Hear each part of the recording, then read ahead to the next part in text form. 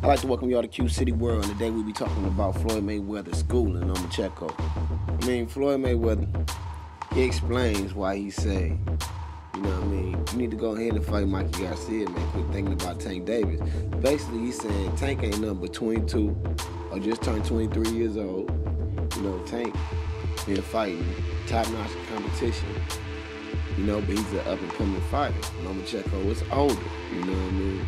Lomachenko is moving way faster. Tank is moving right now, you know? So, you know, ain't trying to make that fight right now. He said Tank is asking to make the fight. Floyd like, no, it's not time yet. So you can say Floyd's scared to make the fight. You can say he's bringing this fighter up right.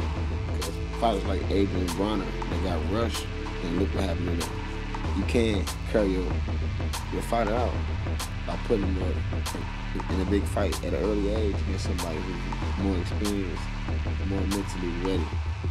So, you know, let Tank come up the way he's gonna come up. But he basically saying like, look, Tank, look, Momo, you can't get no good fights at 130. 135, get the, some competition at 135. You know what I mean? That's what said. That's what I had to do. I couldn't get no competition in no weight classes. I just moved right on up. He said, you know, Bob Arum, you know, been getting over on fighters for 40 years. He said, you only got paid 1.2 million.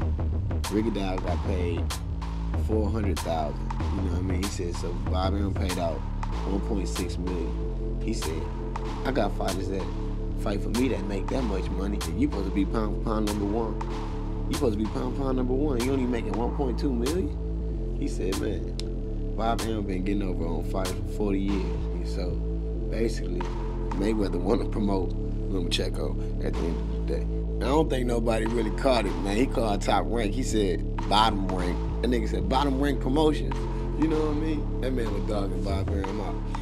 But uh, I was reading an article where it was saying that um, Bob Arum is going to make two pay-per-view fights in 2018 with Lomachenko and Terrence Crawford. It looked like, you know what I mean? So it looked like the Mikey Garcia versus Lomachenko fight will happen, and it looked like T. Terrence Crawford versus uh, either Manny Pacquiao or Terrence Crawford versus Al Haymon fighter will have to happen in 2018. So we can look forward to that, being that Bob Arum is got to do them numbers for ESPN, dealing with the NFL, NBA, NASCAR, NCAA, all kind of shit going on E ESPN. So if you're gonna rock with them, you gotta rock with them. You know what I mean? So Bob Arum showing that he can rock. You know what I mean? And, um, I think it's gonna be, you know, you know. And, and another thing, everybody be talking about Terrence Crawford undisputed this year. Yeah, he undisputed this year, but you gotta give props to Bob Arum for making, being able to make a make a way where he can go undisputed. I mean, because at the end of the day, these other fighters, you know, they can't go undisputed. You know what I mean? These other weight classes, they can't make the fight. And these mandatories popping up and all kind of shit happening. So, you know what I mean? But Bob Arum put Terrence Crawford in position to go undisputed. But at the end of the day, Bob Arum ain't got many fighters that got big names yet. I mean, you got Shakur Stevenson and a couple other young fighters. But at the end of the day, they looking like bottom rank promotions. You know what I mean? They hyping up Lomachenko and they, uh, you know, they, they're not hyping up. Well, they really ain't hyping Lomachenko because he ain't even putting up no money into a press conference. He ain't really promote the Lomachenko versus Rigondeaux fight. So, you know, Bob is just getting all he can get. You feel me? So, Floyd like, bro, you know, these promoters been robbing for years. He said, ever since I left Top Rank, I've been getting money. You can stay there all you want. But, you know, ever since I left, I've been getting major money. At the end of the day, that's how I see it. And sometimes I be thinking like, that boy, Oscar De La Hoya probably told Cotto oh, he gotta lose that last fight because he ain't got no fighters. So he needs somebody to, you know what I mean, reign champion after Cotto leave, you know what I mean? So Cotto, you can't retire by beating one of my fighters, man. You gonna have to, you know what I mean, take it light on Saddam. I need I need a champion, you know what I mean? If you retire by beating Saddam Ali, I have nobody to lean on. You know what I mean? It's a loss. And all I have is Canelo. So I don't even believe Cotto. I think Cotto might have that Saddam Ali fight, man. But yeah, I'd like to thank you guys for coming to City World. Peace. Fight Tank. At the end of the day, guess what? Tank has a promoter. Tank can come to me and say, Floyd, this is the fight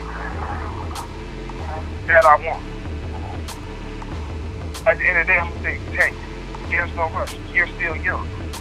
If you want to fight, there's plenty of fights. You, you got a lot of fights left in you. You're only 22, 20, 22, just 20, 20, 23 years old. I mean, if you if he want to fight you, uh, 30, he got 15 years left. He okay.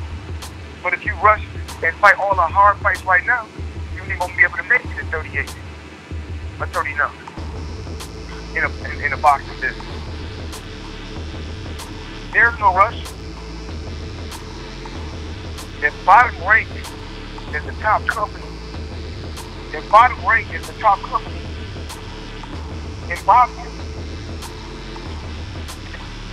all I want to all I want to do is I this up. I want to see the paydays. I, we gonna put up the paydays of these different fighters from top rank. I want to put up the paydays, and then I'm and then I'm gonna show you. Uh, what, then I'm gonna show you what these guys should be